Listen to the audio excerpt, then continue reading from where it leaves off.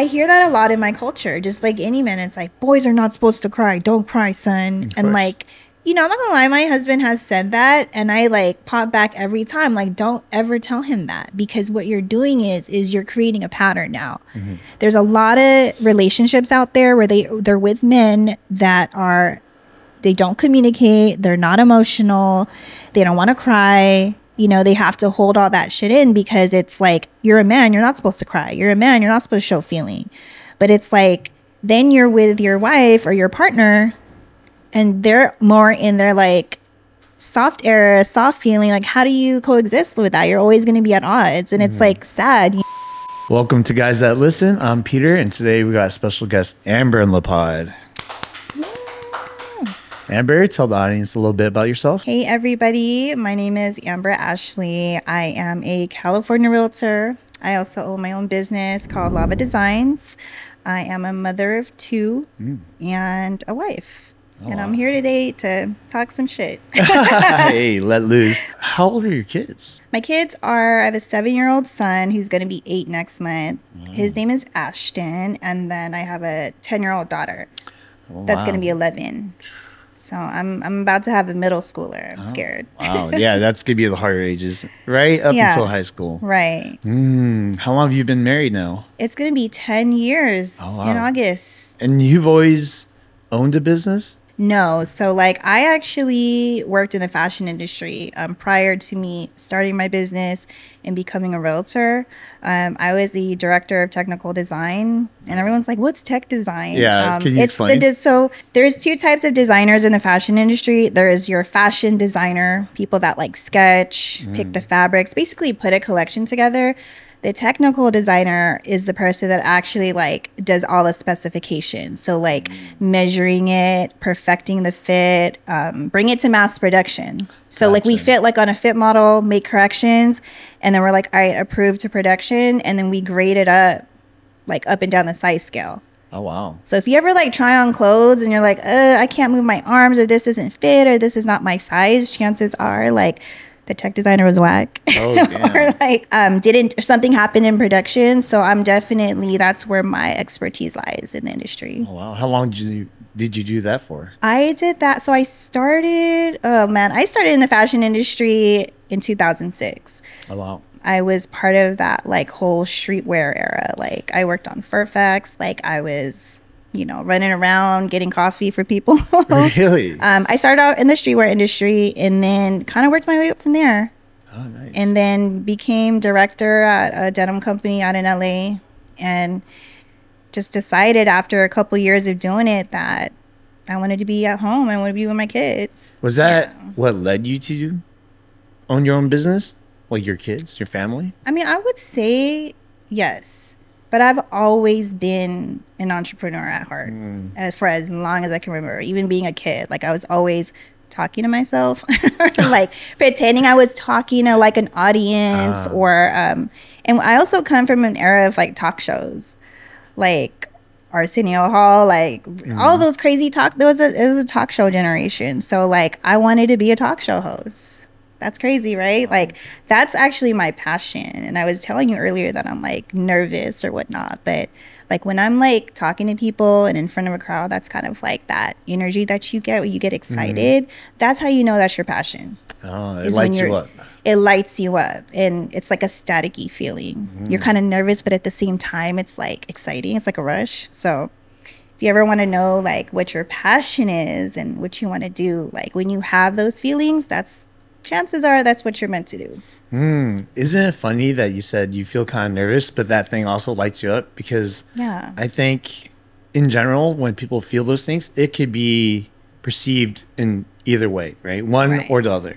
Like you're scared or you're excited, but it can actually be a little bit of both. Mm-hmm. Yeah. But some people choose one or the other, right? Yeah. If they're scared, they typically steer away from it because it's uncomfortable. It's out of their comfort zone. Exactly. If they feel it like as if it was exciting, then they lean into it a little bit more. Absolutely. But it's kind of hard to differentiate sometimes. You know, I like to say it like this. It's kind of like you when you have like your first boyfriend, your first crush, and that mm-hmm. excitement of like you're scared, but like, you know what I mean? That feeling. It's that feeling of like excitement, but you're nervous and scared because you don't really know what to expect. Or, mm. you know what it is? It's that like, I don't know how to explain it. It's just like a good feeling, but a scary feeling. Yeah, that's actually a really good comparison because as Yeah. you were telling me that, I'm, I was imagining exactly that. I was so nervous, so scared initially Right. with my first girlfriend, and you know now I, I think after being in a few relationships, I finally feel comfortable with understanding what that feeling is. I'm able to discern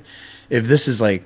Why, why am I nervous around this person? Right, You know what I mean? Why, why do I feel like my words can't come out as Yeah. naturally as they usually do? Let me ask you something about that. When did Mm-hmm. you, like, how old were you when you discovered, to, like, when you were aware of, like, why am I like this? Or why do I clam up? Or why am I nervous? Like, how old were you? I think the first time I felt it, I wouldn't say I dove into it, meaning I didn't really fully understand why, but I do remember the feeling. And I think I was in kindergarten or something, and I had a crush on this Aw. girl, but I didn't know what it was. I was just like, why do I care to be around her so much? You know, and I never said anything. I I actually didn't go into really talking to people that I was into until Right. in my teens, Yeah. and that was more so because my hand was forced. You know, uh, you know when you're teenagers, like, oh, this girl likes you, Mm-hmm. Yeah. you should go talk to Yeah. her. You know, and uh, that's when I started realizing when I didn't like someone, Yeah. and when I did because the people that were super easy to just go talk to, yeah. I was like, oh, I, I don't think I like this person that much. I, I didn't really care. You know, there was none of that nervousness, no butterflies. And as a teenager, that's like really hard to hold back. You yeah. know, And I feel like that's with everything, even like at this point in my life. I'm 38 right now, but Mm. I feel like as a kid, it's like you don't really know too much. All the feelings are like raw and Yes. real. You know, there's no like parents telling you how to feel or there's no it's so innocent. Mm. Those are the best feelings. That's why like your childhood I feel like is an important thing. It's a big thing in your life. It's when you've like probably had your first heartbreak or, you know, had this feeling of excitement, right? So that's crazy that you said that. That's so interesting because this is coming from your perspective as a mother. Yeah. So you've already dealt with it in your own life as your childhood. Yeah. And then now you're going to deal with it within your daughter's childhood and your son's childhood. Yeah. Ugh.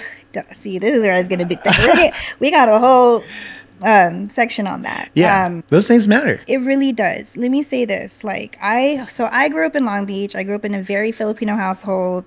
Never really saw my parents. Oh, wow. I'm the the youngest of three. My siblings are in their 50s already. So I was like a oopsie baby. Like I like counted the time back when I was born. I'm like, I'm born in September.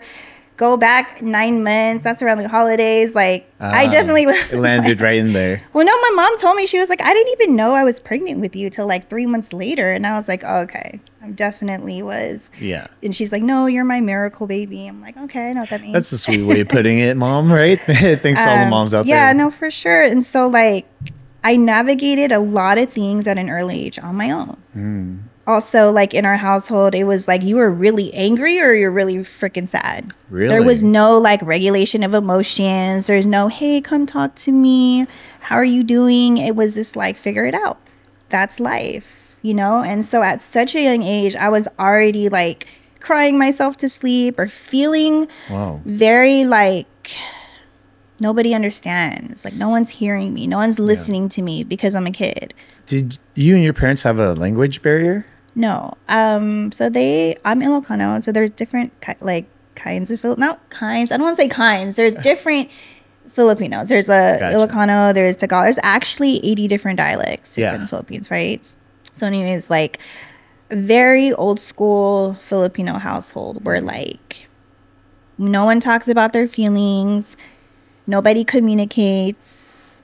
And when we do, it's either in the form of yelling you know, I, I grew up in a, you know, I'm going to just say this because this is where it gets heavy is like, I grew up in a household where there was a lot of yelling. And I feel like a lot of the shit that I seen, like growing up and you know at such a young age like carried on with me into my adult life so mm. kind of taking it back to your kids it's like damn i didn't have anybody to talk to i had to navigate through shit on my own. You know my sister and brother were much older than me so they were doing their own thing. Mm-hmm. You know they were also in their teenage years so my parents had more i think attention on them mm-hmm. because they're they're raising teenagers while I'm still like, you know, eight, seven, eight years mm-hmm. old doing me. Um and I listened to a lot of R and B when I was little. Yeah, that's gonna get you. Like that's I'm an R and B girl. Like I I was always listening to like slow jams and stuff like it's crazy because I identified with that. And so I mean my hope is as a mother is like sometimes when I catch myself, so like if I'm having a moment you know and i and i switch back to when i felt that way when i was a kid and then sometimes mm. i trip out because i see my daughter and i see her going through the same shit that i did and that honestly scares the shit out of me. Like mm. and that's why like my passion is to like talk and like tell people what's up and tell speak up how you feel. I'm constantly telling my daughter like tell me how you feel and my son. If you're mm. going through something you're scared I need you to tell me how you feel. I'm not going to judge you. I'm not going to be mad at you, but I want you to tell me how you feel. I'm always going to be there because no one ever told me that. And, you know, I started going to therapy to kind of navigate through those triggers. Like, how come my parents never like taught me to like do this? You know, yes, I can have a home without yelling. You know, um, those are things that I really strive for is to have a peaceful home, be able to regulate my emotions, teach. I don't care that my kids are like nine and seven. I think these are the most crucial years, you know, to um to put that on them. Yeah. So it's like, yeah, I grew up in a pretty crazy, like crazy household. Can I ask you why your household had so much yelling and anger? What what was happening to cause it? What was the catalyst? I see a lot of myself from my mom. Hmm. Like sometimes I catch myself I'm like, oh shit, like I'm turning to my mom. Like I have, you know what I mean? And it's like even the way like I like put my hand on my hip or something like that, and it like those things like frighten me, but at the same time, like, what was she going through at her age? Because the stuff that I was going through in these past couple years, my mom was about the same age. She had me when she was like in her late. She was I think 39 when she had me, and I'm thinking to myself like what was going on? Because now that I'm married, like, first of all, that's another conversation, Yeah. but marriage is tough. Like, it's probably one of the hardest things, relationships that you're, you will ever be in, right? Other than with yourself. So that's why I tell it, you know? And so it's like, my mom was just somebody that was always on the go, like, you know, and I don't even know if I'm supposed to be saying this, but, you know, she was, she gambled a lot. She was a gambler risk taker, risk it all, like that adrenaline. Like Yeah. my mom was so much. She's so much fun. First of all, like she's somebody you want to party with and drink with because she's so funny. She's like the life of the party, but she just I think made really bad choices. You know, and I think they came here as immigrants in the 70s. Then my mom went back and married my dad, and then they came here really early on. And I feel like, you know, at that time, and my mom and dad are in their late 70s. So I feel mm. like during those times, like minimum wage was like three bucks. And when you come from a foreign country into the US, it's like, it's like survival mode. Yeah. They're not thinking about investing in real estate. They don't I'm know. saying? They don't They know. don't know anything about that. They're not saying, "Hey, I'm going to go to law school and become a lawyer."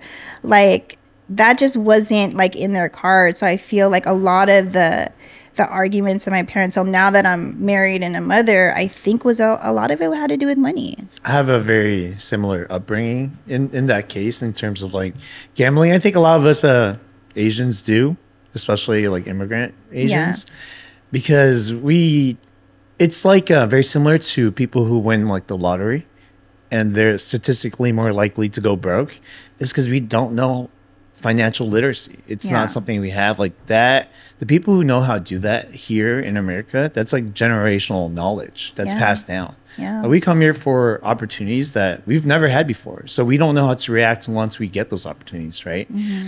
And that's something that's passed down that's new to us, right? Because back in the Philippines or back in Vietnam, Mm-hmm. losing and gambling some money, you were already broke to start with. Nothing changed. You know, you didn't move down. Yeah. You're exactly where you've been. But to get something and to feel like you have some power in your life and not know how to control it, that's when gambling takes over. And I've seen it time and time again where it causes a lot more issues because in at least in Vietnam, we kind of just laugh at it, right? We're just like, oh, we lose some money. It's just like another Yeah. day in the neighborhood, Yeah. right? But over here, it's like you have so much more opportunity, so that means you have so much more to lose, and Mm. it's it's a struggle that even I kind of deal with, and you know, very similar to how you were saying, Yeah. you see some of your mom and yourself. I, I see some of my dad and mom and myself, Yeah. and and in regards to the negative and positive, of course, Yeah. and that scares me sometimes, and that's actually helped me kind of stray away from some of the habits, some of the negative habits that they have. Yeah. Like my dad was extremely hot headed, like Mm-hmm. extremely like destroying stuff. And I always took it as like, that's what I don't want to be like. Of course, there are things that, that are positive about him that I'm like, oh, I want to be exactly like him in that way. Yeah. You like learn to pick and choose that you don't have to be exactly like your parents. So I'll kind of give you like an example. I when I was younger, I used to be very open to my significant others as far as like how life was at home. Mm. Like if my mom and dad were fighting, if they were getting physical, if they were yelling, I would let them know because I think in a way now looking back in hindsight, I'm, this is the first time I'm actually thinking this. I kind of just trauma dumped on, on my exes, you know, and this is like in my teenage years. But I did it because I believed it was like a safe space. Like who's gonna understand me but my significant other at the time. And uh, I remember, I guess she had told her mom, and her mom told her like, "Hey, watch out for him. Like the apple doesn't fall too far from the tree." Wow. And when I heard that, I was like, "Damn, you know, I do have some tendencies that are very similar, and I don't want that to be a determining factor in my future relationships, right? Yeah. Like my why my significant other should be scared of me." Right. and why I should hold back what was my reality in order to make them feel safe, right? Because I could just tell the people I date, like, oh, my childhood was great and nothing ever happened. Mm-hmm. But then that's closing off a side of me that was real. And So I don't want to do that in order to make sure that they feel safe because they're scared that Yeah. I'm like my parents. Yeah. That's like a breath of fresh air. Like, not a lot of people understand that. Mm-hmm. And so for me, it's like, that takes a lot of work. I could tell you've done a lot of like inner work, um, just how you come off. And I, you know, I was never able to talk about this stuff. These are things that I was harboring for many, many, many years, down to when I was my daughter's age Wow. you know um carried on into my like teen years my young adult years all the way up until now i would say like in the last maybe two years i've i'm like oh okay i get it i understand Mm-hmm. you know because i feel like too when i i had told you that i had started a podcast Yeah. called ask ash and I went in like heavy. Like I was afraid of money. This is why I'm afraid of money. Like That's great. my parents, this and that, you know, the fear of it, of starting a business, leaving a career that, you know, was good. I mean, I traveled the world, I made good money, like, but I fucking hated it. I hated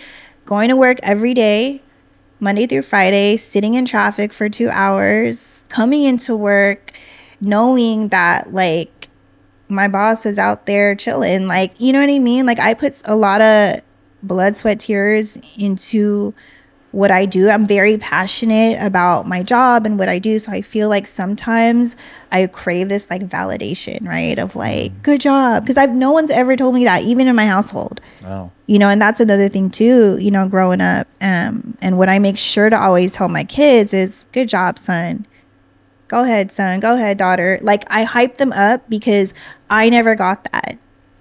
You know it was like almost expected. You're supposed to get an a on your test. What do you mean? Good job. Yeah. you're supposed to be respectful and shut up and not say anything when there's adults around. You know that ex- it's like uh that cultural like stigma of just like you're supposed to be this like complacent, obedient child and not like be a rebel. Cuz I was a rebel like I did a lot of crazy stuff, you know, do you growing up. mean? First of all, I was running around. My first boyfriend was at 13. I was like climbing out of windows. I used to like hide. Oh, really? I was climbing. I was doing it all. And like I remember there was a day like, and I would like walk from home from school, and I'd be at my boyfriend's house, Mm-hmm. and then my dad and my uncle show up, but I had already left.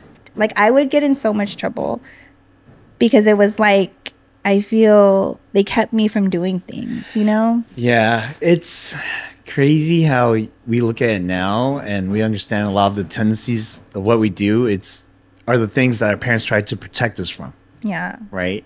And it it comes out one way or another. And it's more it's more like we're we're more inclined to do it because they want to keep us away from it. and honestly too like i had my first boyfriend like real relationship at like 14 and he was 18 so in my mind i'm as a mother i'm like damn you let me run around with an 18 year old Wow. you know what i'm saying? Like and i'm gonna be straight up like i got on birth control at like 15 like yeah. if that was my daughter like hell no. Like wait a minute. You know what i'm saying? So it's like i trip out on like where were my parents at? What were they doing? How do they not know that i'm out here and running the streets like being bad? You Mm-hmm. Yeah. know what i'm saying? And it's like but i had my older sister she was she's super conservative you know she's the nurse she How did much older is she?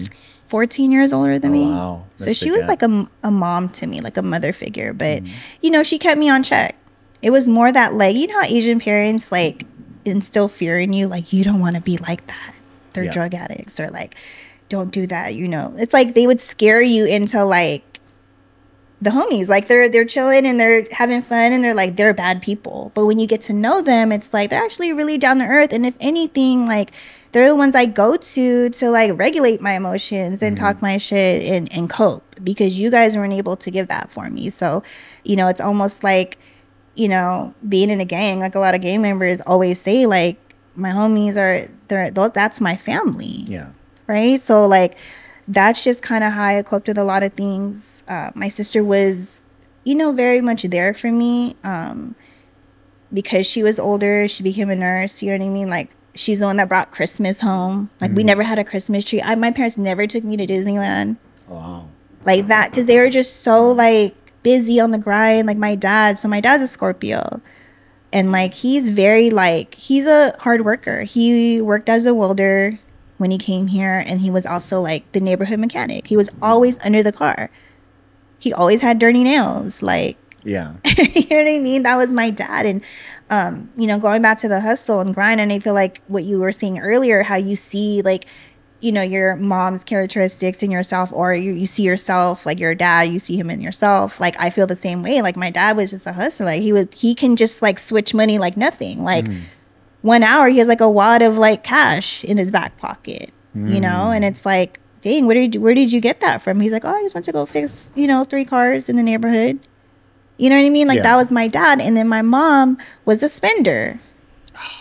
You see the dynamic, so it's Yeah. like that's what a lot of I feel like a lot of um arguments erupted from. That's uh that's very similar to my upbringing. Yeah. Very similar. My mom worked also, but she was more of a spender and I think what happened was my dad's a very minimal guy. Like he doesn't really give a shit about expensive stuff, nice cars, doesn't really care about any of that.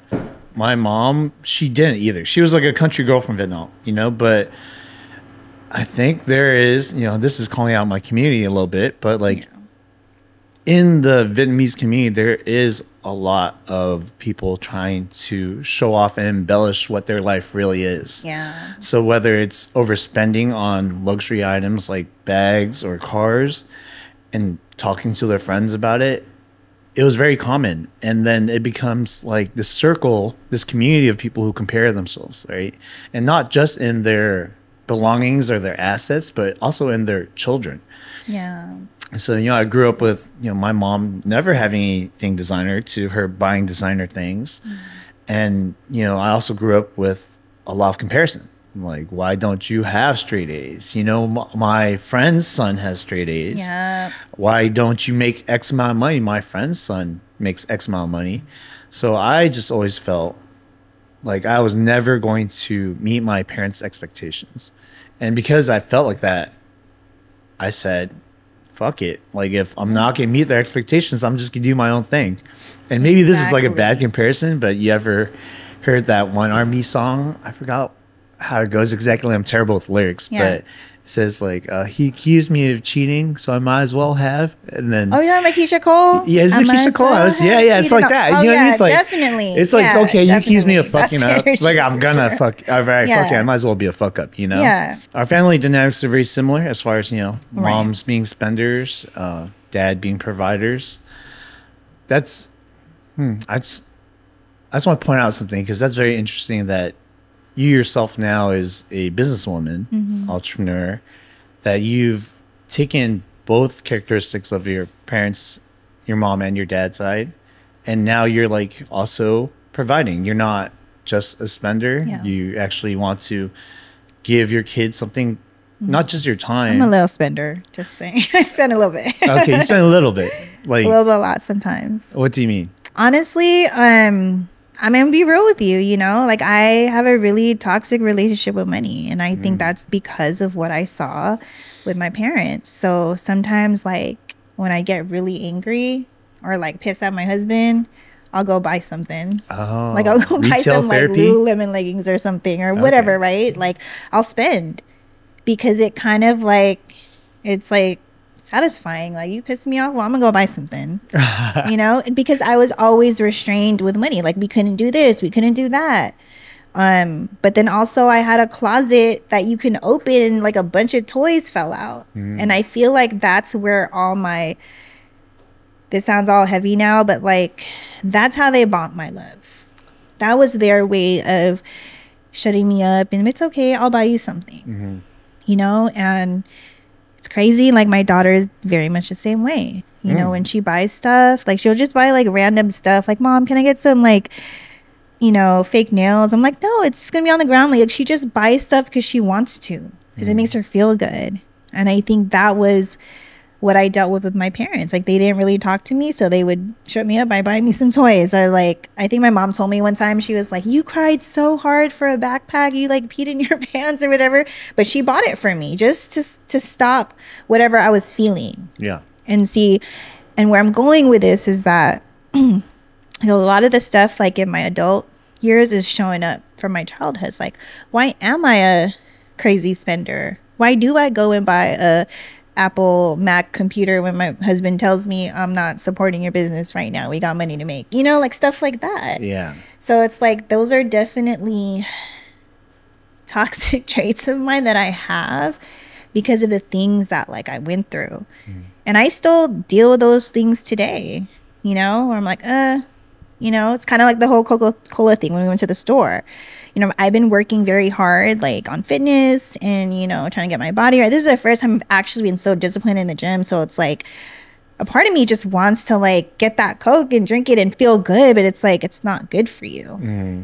Like, no, Ash, like don't buy that. Don't you just worked out this morning. Why would you do that? being from an Asian background, we we learn to get very temporary pleasures and and sacrifice long term gains because that's how we numb ourselves, right? So whether some people do it through drinking, drugs, alcohol, retail therapy, there's always something because we all go through hardships and especially as a in a culture that we don't know how to express ourselves we we seek other ways of finding relief Yeah.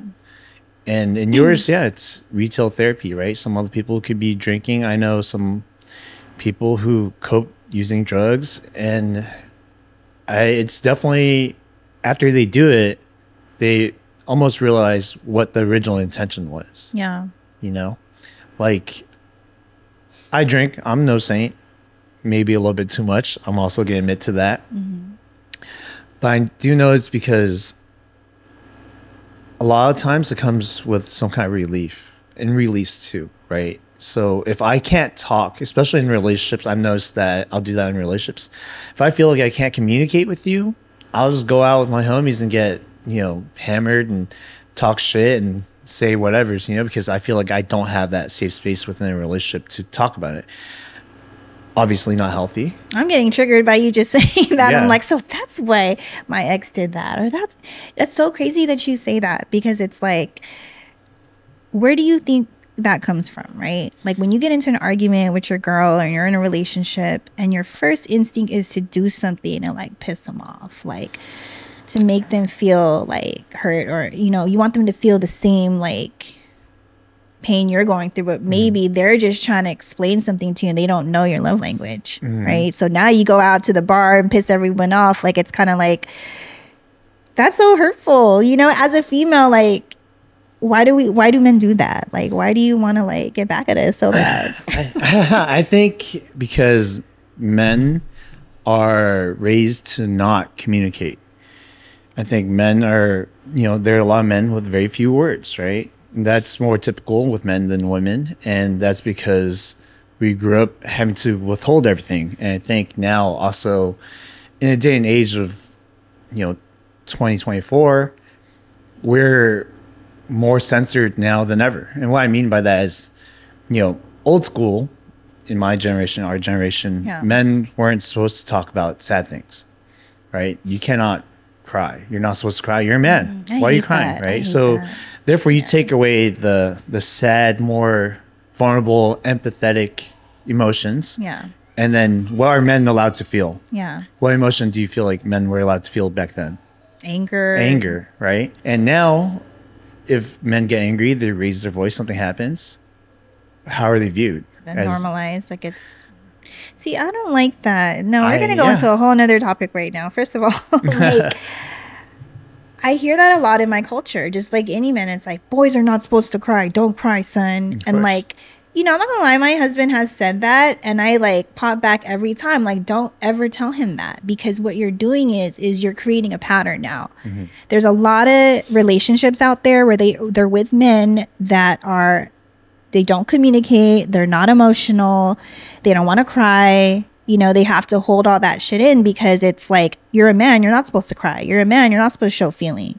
But it's like then you're with your wife or your partner and they're more in their like soft era, soft feeling. Like, how do you coexist with that? You're always going to be at odds. And mm-hmm. it's like sad, you know? So when my husband says stuff like that, I'm like, look, son, like, I don't want you to be a crybaby because there's a difference. There's a difference between a crybaby and you're always crying and whining about stuff. And then there's also a difference between like showing emotion and crying because you're happy or crying because you're feeling overwhelmed with joy. Like, that's okay. Like, it's okay to like be in your feminine as a man. Like, mm. just how much women are in their masculine. Yeah. So it's like I've been in my masculine my entire life, you know? like if you can't tell. And it's got me to where, you know, it's got me to director levels. It's mm -hmm. got mm-hmm. me to where I'm at today because I've always had to be in my masculine because I always was told, like, don't be a bitch. Like, you know, stand up for yourself. Don't cry. Don't show emotion. Like, mm -hmm. I had a mm-hmm. boss tell me, like, don't ever cry in front of your team or don't ever cry because it shows it's a sign of weakness. Mm and I hate that. And I'm like, no, fuck that. I'm crying. My my like my people that I work with, if you see me crying, I'm just in a lot of emotion. That's the real me. You mm. feel hmm. what I'm saying? Like, yeah, I no, I do. I actually crying appreciate yeah, that. no, I was kidding. No, I actually appreciate that yeah. because, again, that's the realness that we're all kind of lacking now, right? Is that like behind closed doors, like you do feel like that, and we were prior just hiding all that. And now, like in a day of social media, like we we hide all those things from anyone to see, right? And yeah. we only show this perfect version of ourselves. Mm-hmm. And it's mm-hmm. really hard for you know the youth, especially, to differentiate if that's like true or not. Like, yeah. but we know what we're doing. Yeah. You know, we know. Like, I know that I'm not always gonna be a tough guy. Like I ain't no bitch. Like that was my that used to be my favorite of saying. Course, I used to be like yeah. I ain't no fucking bitch. I don't give a shit. Yeah, but like, there is yeah. a time and place for both, right? Like exactly. Yeah, like, crybaby. You're right. Like there's some people who you know victimize themselves all the time, yeah. and yeah, sometimes you definitely gotta, for lack of a better word, like man up. Yeah. You know, but there are times where it's like it's okay for you to cry. Yeah. It's okay for you to be vulnerable. It's okay for you It's a bitch, right? And yeah. and I think, you know, going back to what you were saying about like why do men do that? Right? Why do you go out with like your dudes and you have drinks and then you talk about your problems? I think for me personally, and I can't speak for other men. Yeah. I felt like I couldn't have those conversations and not be judged yeah. within the confines of my relationship. Got and that's it. why I, I sought for it elsewhere. You know, very similar, like you would seek for, you know, what you didn't have in your childhood Yeah. where your parents didn't show you, you know, affection. Yeah. And now you like go to other people and show them that, right? Yeah. because you didn't have it yourself. So I think that's why, personally. Relationships are hard. Like I said earlier, it's probably one of the hardest relationships you will ever be in because when it's like a commitment, you know, um, opposites sometimes attract. Just in my situation, like my husband's very different. We're like so different in a lot of ways, but we're we're the same, right? Hmm. Like he's like my yin or yang or whatever you want to call it. But I feel like that's why it goes back to raising kids and constantly like and I don't pound it into my son, but it's just more like it's okay to cry, son. It's okay to, you know, be upset. Next time we're gonna talk about it. How did it make you feel? Like I literally I feel like I give my kids their own therapy session. Really? No, and I, I think it's so needed. Like when my like the other day, my son was like so upset on his sister because she wanted to hang out with her friends. Because they're getting at that age now where like she's going to middle school and he's still in elementary, so he doesn't really understand why. Like, and they share rooms right now. Like we're in the mm-hmm. process of like you know getting his room fixed, but like she's like I need my privacy, and and he they would just walk around like with their you know because they were like little babies, and now she's like uh like close the door, like I need Yeah, privacy right? And so it, he took it really hard as like rejection and he was so angry. He's an aries. He's like angry about it. His emotion is like being angry and so i go well son how do you feel? Why are you angry? You know and like it took a while for him to like come around and he was like violet doesn't want to play with me anymore Hmm. and it was like the saddest thing because in my heart i was like i know babe but sometimes you got to know that one day you're going to need to give each other space. You're going to have your own friends. And it's like, whereas if that was me when I was younger and that happened on my end, my parents would be like, ugh, deal with it. Yeah. And I feel like those are patterns. It's patterns of telling your son not to cry. And then they get into relationships and they get older and you're doing the same damn shit you and your parents were doing. You're generally like start you're creating this generational curse of like bad communication within men, you know, um, not being able to be in their feminine when they need to be. Like women are emotional creatures, like or whoever what relationship you're in, but there's always going to be an emotional person. So you have to meet them halfway. You got to be out your ego. Like, oh, that's like what it is. It's like egos. You know, right now we're talking about your son. Yeah. Have you ever experienced that with your significant other? Since you said you grew up more in your masculine, does that mean you were the less emotional person in the in the relationship, or No, I'm like emotional gangster. Like, Well, okay. Like, you know emotional what I mean? gangsta? Okay, like that's emotional gangster. Like that's what I'm saying. Is like we are both hotheads. We both uh. grew up in that culture where like I'm a man. You can't tell me what to do, woman or whatever. You know. I'm like what? Like I was always like on the fence because my mom was that woman. Hmm. She always popped back at my dad. She always like fought him. You know. She never was that like obedient wife like no don't be afraid to say something or speak up so it's a it's wo- world war ii sometimes in our house because we're both very passionate people hmm. you know and we're in our egos a lot like i'm a virgo like of course i want to be right you know what i mean of course i always want to be right Yeah. you know whereas he's an aquarius and they're like quiet storms and it's like has they're very transactional people so it's like it's hard to have conversations with him mm-hmm. because we just don't align. So now that you're kind of naming off all these characteristics of these zodiac signs, I'm, I'm gonna have to ask you because I, I'm not a zodiac sign Okay. person at all. Just I'm not very spiritual Yeah. in general. Yeah. Was that always like a big factor in how you perceived things when you were dating? You know what's funny is like I'm telling you, when I was a kid, I read a lot too. Hmm. I was very I was not like into what everyone else was into. Like back in the nineties, like what is what was there like pogs and shit Yeah. and like you know I wasn't I was Marbles, into that, but I wasn't into that. Like I was around older people. Hmm. And like I was like intrigued by like crystals. There is this store at Lakewood Mall called like Natural Wonders. I don't know if you remember. It was a rock store. And I was like, ooh, this is dope. Like, this is like all these crystal. I was very intrigued by the cosmos. I wow. felt connect. I don't know. I felt connected to it in some weird That's form. because you were reading. Like, reading read stuff, about it and then or like I would go into that store and like feel a weird connection to Hmm. it. Like it was just so pretty to me, right? So I started reading about like you know, um zodiac signs. I was like my daughter's age reading about zodiac signs. I was reading about like all that.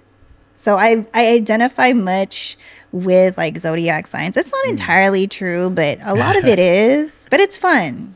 I don't Yeah. take it too seriously, you know? Like look what happened. I married someone who was like totally not my supposedly not my match. what, what is that called when someone's like your match? Your soulmate? I don't know. I don't I don't know about So that. your, your, Cellmate? your No, husband's not your soulmate. soulmate. No, I mean, I do identify with it. it. It's fun to play with, but yeah, I mean, that's what I was doing when I was a kid. Is like, oh, this person's a Gemini. Like, oh, I don't mess with her because she's an Aries or whatever it is. Yeah. You know, like, um, I do use that, and then my daughter does that too. You know, she's like, Mom, like all my friends are Tauruses and we're all Earth people. I'm like, oh, my, god, you sound like me. Oh my goodness. Oh my gosh, here we go. Did you tell her though, like not to give it so much weight? Like it's fun, but Okay, I would be honest with you. So, like two years ago, I was like in my like spiritual, Hmm. in my spiritual like meditation, buying crystals, staging the house. I still kind of do that now, but not as extreme. Um, like I was very much into that, and I was like playing, doing tarot, like all that stuff, going to like I was doing it all, but not that like black magic shit, like. no, you weren't sacrificing lambs. No, none of that. None of that. It was like angel work. I was very much into like numbers and all these things because I would trip out. It's like when you're going crazy and going through shit, like you got to find some type of outlet, right? Um, so I'm like, all right, I like this meditation stuff. I started reading more like self help books and like kind of dabbling in all that. You know, this is before I was going to therapy. Um, but yeah, my daughter one day was like, "What are you doing, mom?" like in my room, like flipping cars. She's like, "What is that?" I'm like, "Don't touch that! Don't touch that! It's nothing. like it's nothing. You don't know about this yet, you know."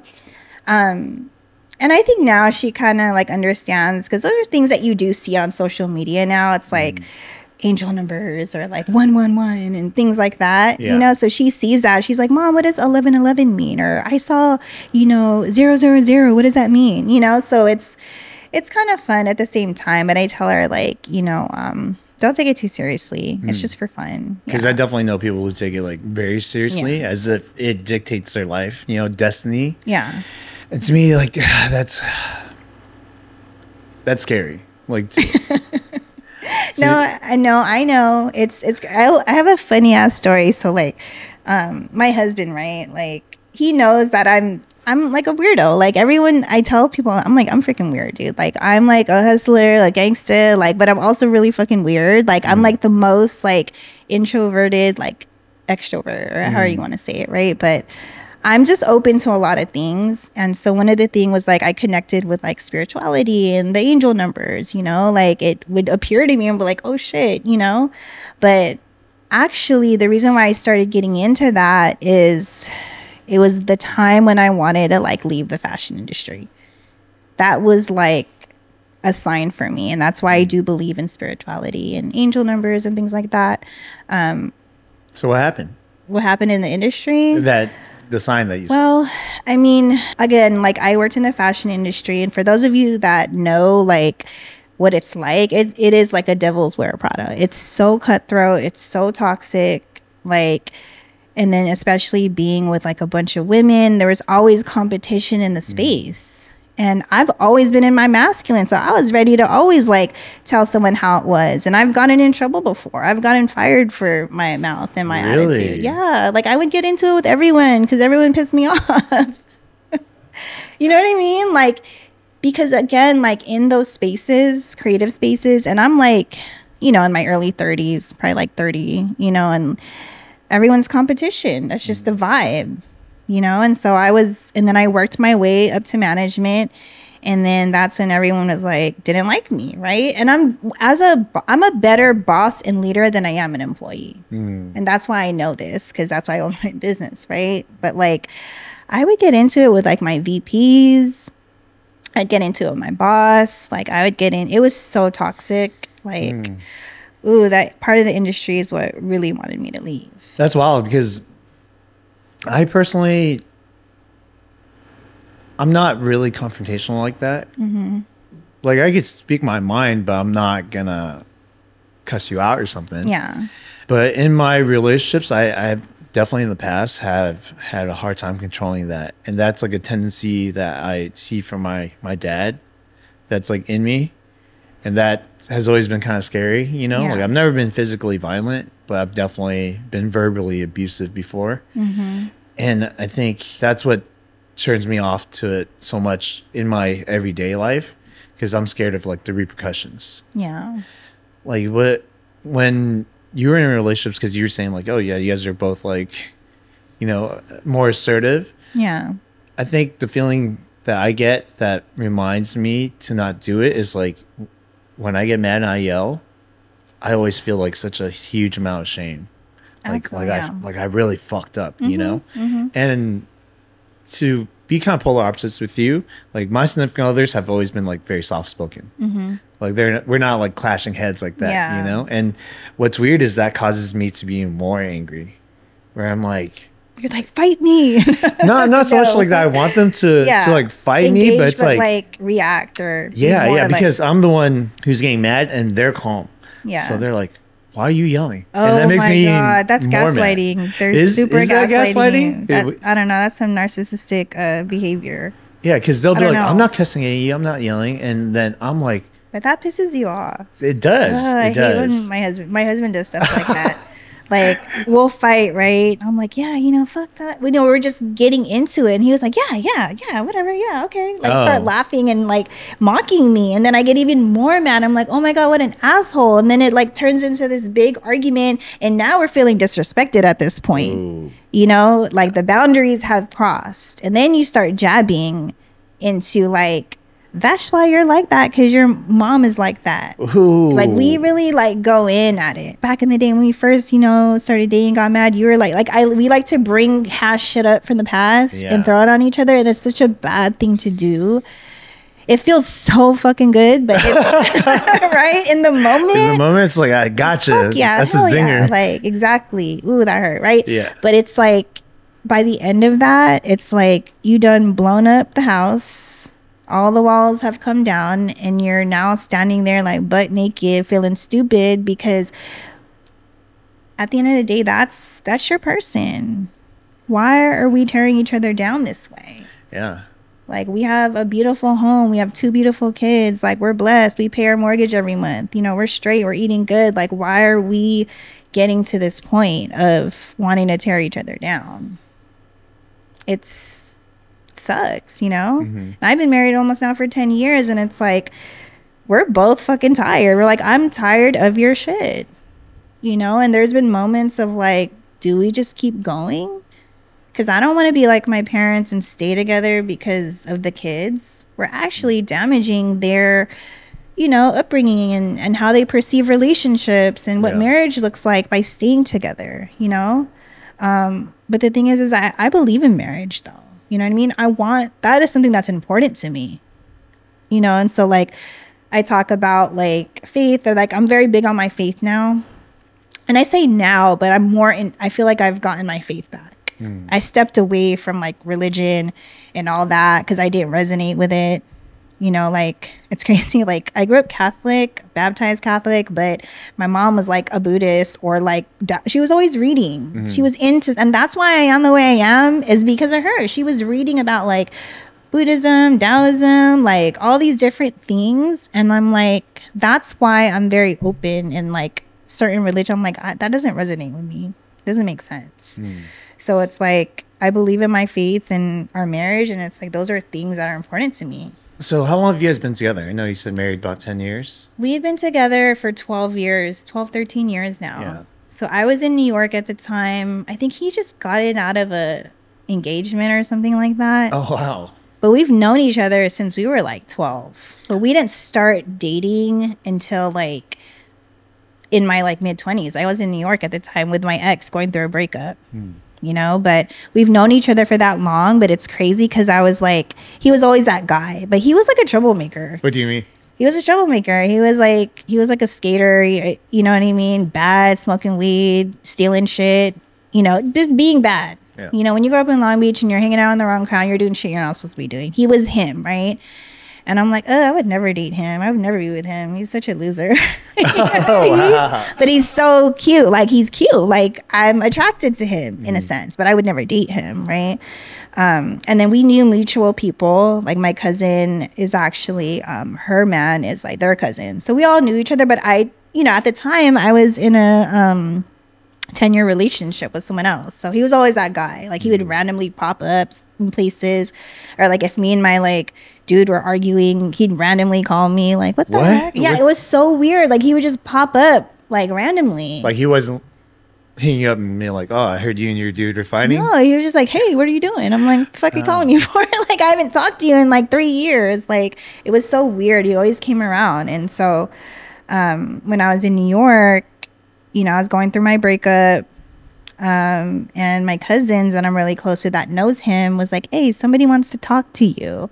Or like I would like fuck around and say like, hey, what's up with your boy Lo? Like, what's up with him? She's like, mm-hmm. oh, he just got out of an engagement. I don't really tell him to come to New York. You know, like messing, totally messing around. At this time of my life, I'm like, I don't give a shit about relationships. Like, I don't care. I'm over it. You know, and so yeah, I just started hanging out. He came to New York, and that was it. It was history. Wow, so he didn't. He wasn't even living in New York, but you were. I was. So he went to visit you, basically. Yeah. And he was like a childhood crush. Like I've always liked him since like we were 12. Did he tell you the same thing about you? Like what he thought about you? We always knew it though. We always knew there was like a chemistry. Everyone that knows about us was like, it's like a, we always had chemistry. Oh. It would always make me like shy. Like I couldn't like look in his face or what. You know that feeling when I was talking about earlier? Mm-hmm. Your first crush, like your, you know, first boy. He was that for me. Yeah. That's crazy. Now Yeah. you guys are married. and we're married with two kids and a dog Twelve years later. 12 years later. Well, I mean, I'm glad you kind of talked about this a little bit because you mentioned that you guys do get in arguments and sometimes you get, you know, gaslight each other. And you know there's work to be done, right? Yeah. Because this is your person. You believe in marriage and you want this marriage to last. What were some steps that you guys took to improve on that? You know, I'm gonna be completely honest with you. It was more like I was questioning myself. Like, is hmm. there something fucking wrong with me? Because every relationship I've been in has been this crazy. The yelling, the arguing. Every single one. Every single one. Oh, wow. And I have no shame in saying this. Every single one I cheated on. Mm. I have not cheated on my husband though. You know what I mean? So it's like it's, this is important to me. Like I'm married to you. Like I'm not trying to do that because I've been there, done that. I've been down that route, and that's what happened with my last relationship. So I'm very against that. You know, there's a lot of temptation out there, but you know what has led me to really um, correct our issues is correct myself first. Like, why am I like this? Why do I get triggered? Why does he piss me off? Why do I react this way? You go down that rabbit hole of the why. And I was going through shit during this time where I'm like, I need to start taking accountability for what's going on here because we're taking it too far. Hmm. So I had it, I, I'm still dealing with it now. And that's when I decided I was like, you know what? I think I need to go to therapy because I got issues. It's no longer him anymore and what he does that's pissing me off. I think I have some issues within myself because of what I went through growing up and what I saw in my idea of what marriage looked like between my parents. I feel like that shit was coming up in our marriage. Hmm. And your biggest thing is to get away from fear your your ego comes up your your walls come up and that's why we argued a lot because i had like inner demons like you know what i mean that i'm like i didn't know what i was going through To think that in the first place is probably the hardest part for people who end up going down that road because it takes a lot of like looking in, right? Like, who who am I really? Mm-hmm. You know, because to be honest, like cheating is very self indulgent, right? yeah It's like I just care about me now, right? it's so selfish It is for you to think that of yourself. Like they probably don't, you know, they probably don't think like, oh, I'm being so selfish right now. I'm like, no, it's just I'm just going, you know, People with the flow. justify it all the time. Like, Yeah. well, he's not there for me emotionally. So, okay, I'm going to go emotionally cheat on someone else. That's but that's not cool. You guys made a commitment to be together. Like, what type of person are you if you can't be straight up with your significant other? You know? So Mm. it's like cheating is just like there's emotional cheating, there's physical cheating. Emotional cheating is like the worst cheating Really? because you're connecting with somebody emotionally. Those are like, for me, in a marriage, it's like those are the things that you hold sacred within your marriage is the emotional part of it. No one is ever gonna know your inside. it's not like that, but you know what I mean? Like Yeah, yeah, your yeah. inside, like your heart, like who you are. Like why would you just share that with somebody else? You guys made a commitment to to be together. That's what it mm. is when you're married. It's like you're flesh, flesh of flesh, one, right? So why would you go out and just give that to somebody else? What does that say about you? Hmm. You understand what I'm saying? So it's like it's uh, like cheating is so bad. It's because I've been there, been there, done it. I know what it feels like. I know how much it hurts the other person. And at the end of the day, it's like you really got to come within yourself and be like, you know, you fucked up, Ash. Yeah, it's crazy. You have to really dig deep and be like, you know what? Like, you got to be accountable for the shit that you do. It's about being a good human and, and being honest and like, because there's just no good out of it. You get nothing out of being inauthentic you know that's like my name of my business is lava right? So real quick like lava is like my initials of my family. So lowell ashley violet ashton right? Hmm. Lava. So within my business it's about love. Like everything you do you got to do with love. If you don't love what you do why are you doing it? Everything you do you got to do with love.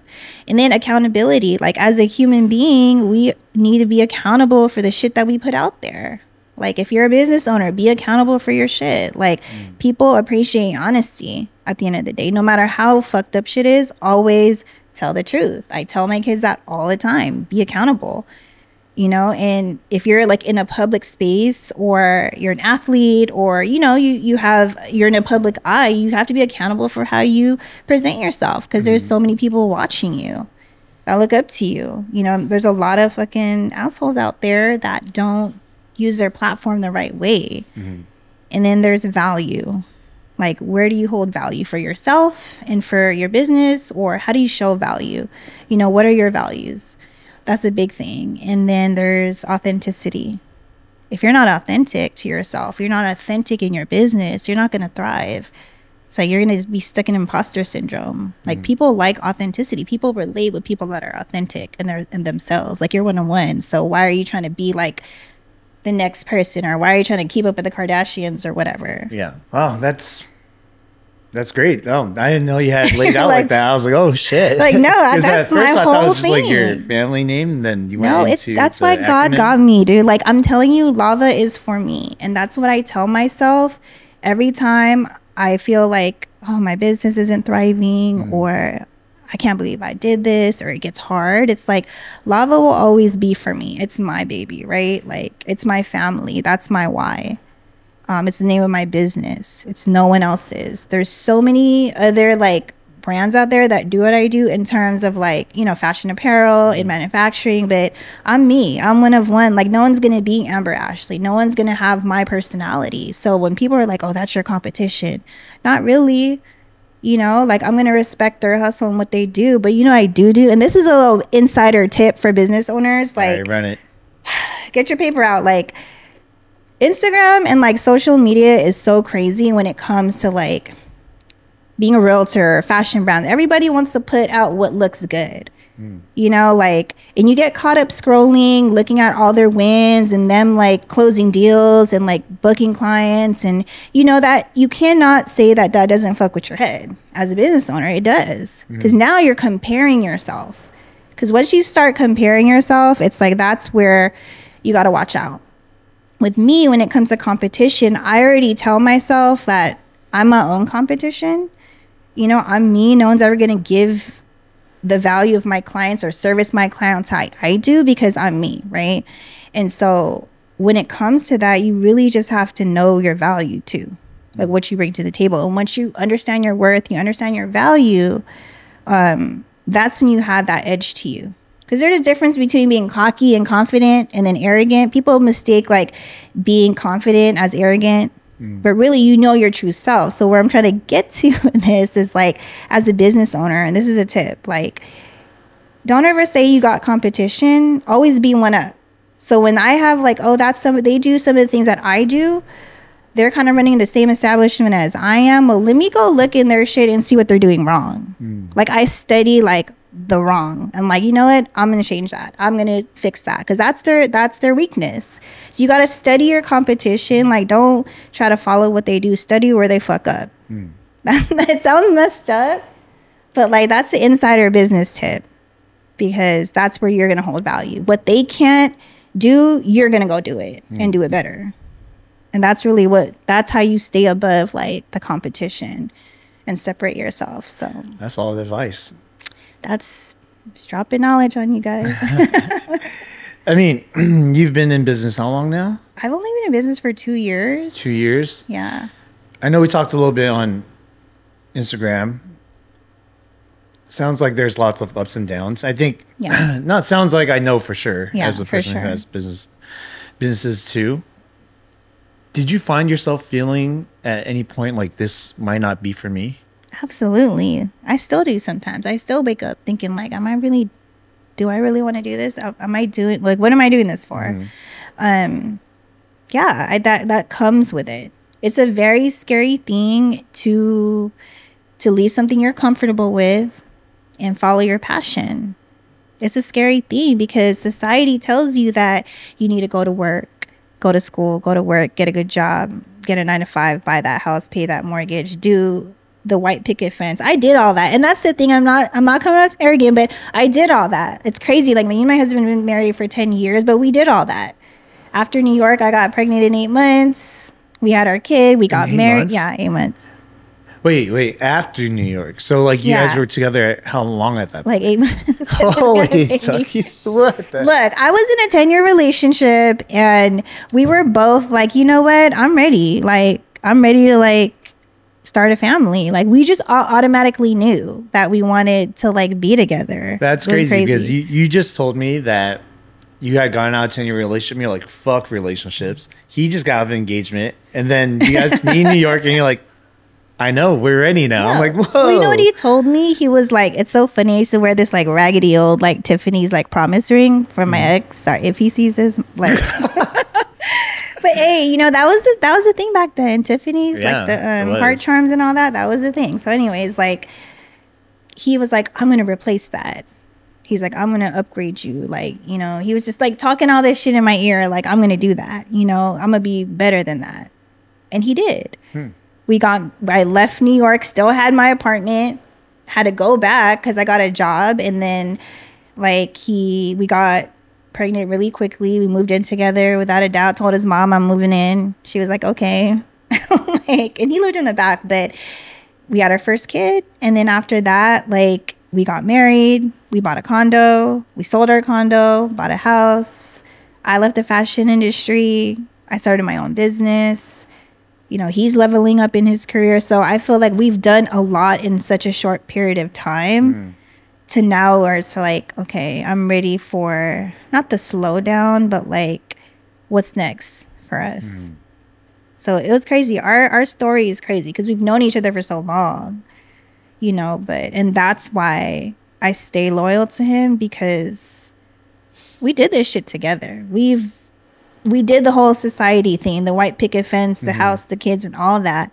Now it's like I'm at this point of my life where like I want to get back to me and I want to be a really good mom. I want to be a really good leader. I want to give back to my community. I want to share my story.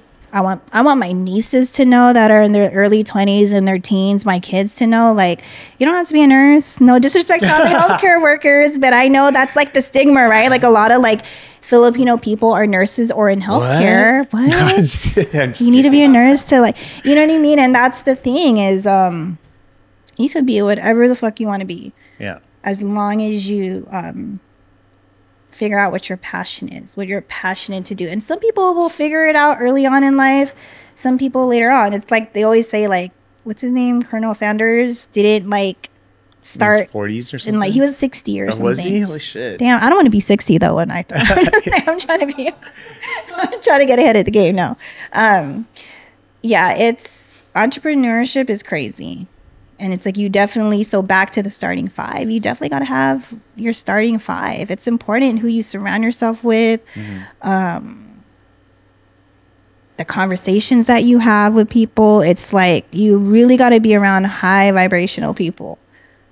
You know, you can't. It's like I seen something the other day. If you're around like four losers, you're gonna be the fifth or whatever. I think it was something like that or broke You guys interchange that with anything, but yeah. yeah you know what i mean and it's it's so true and it's hard though because in this journey i've lost a lot of people that i love in terms of relationships to where it just doesn't make sense anymore. It doesn't serve you anymore. it doesn't serve me anymore. It's like a fucking breakup. It's sad. Like You Marie Kondo these people. You're like, oh, it's sad. It, it really is sad because you know um i was really close to a um like a sister of mine. We grew up together since the crib. Like we were very always close together and we just could not get it right you know we would always have a falling out then we wouldn't talk and then it was she was going through stuff and then i'm a narcissist she called me a fucking narcissist dude like i was like wow really okay you all right This is you not know the friend that you got in a fight with. That's Cerritos, no, no, that's that's whole that's different. That's a whole nother story. That's Uh. not her. no, she's like my sister, and um, you know, and I prayed to God because I'm big on my faith right now. I'm like, you know what, God, if I'm not meant to be in her life right now, if just show me a sign. And we ended up having a falling out over the holidays over mm. some dumb shit, and I'm like, and she would just block me out of nowhere. Like block me. Like you didn't even you blocked me and then i can't even respond. And then prior to that she actually blocked me too because i was like doing my podcast. I was in my like mm. fem era like doing my podcast like you know being super spiritual and like into stuff. And i think that really like made her jealous or something. I don't know hmm. It's crazy but like i had to let her go. Like you can't just shut me off when you want to shut me off and then come back when you when you want to be around. Yeah, that's uh, that's hard to yeah. differentiate the kind of people in your life, especially people who come off as friends and people, you know, some people could become your friends because they're jealous, you know, or envious of you, yeah. And then you don't know until like years into it, like, oh, they actually don't even want you to win. you can't be you cannot be friends with people that are jealous of your life or jealous of you. It just doesn't work. Mhm. you got to pay attention because there's people there might be people in your circle that are like oh i'm so proud of you. Like this no they're low-key like hating on you and want to see you fail. And you have, that's why you really got to um, pay attention Mm. to who you're around. Because i've been there where i've had to cut people off. I'm like ooh you're it because there's like subliminal like jabs you know? And it's like uh, was that a compliment or was that like something negative? And you'll your intuition will tell you. When you're around i'm big on energy so it's like when you're in a circle of people that like you know you think are your friends or your acquaintances especially in business. I learned that a lot this year where like i met a lot of different people through the industry connecting with different people being introduced and um, there's people who are like oh my god you're so pretty but then they're like talking shit about me behind my back Mm. or doing funny shit, you know, and it's like that's where you really have to like, you know what? Um you're not my type. You're not part of my tribe. Yeah, I've had to learn that. So you're still in real estate, right? Yeah. I'm in mortgage. Okay. So um, What's the interest rate today?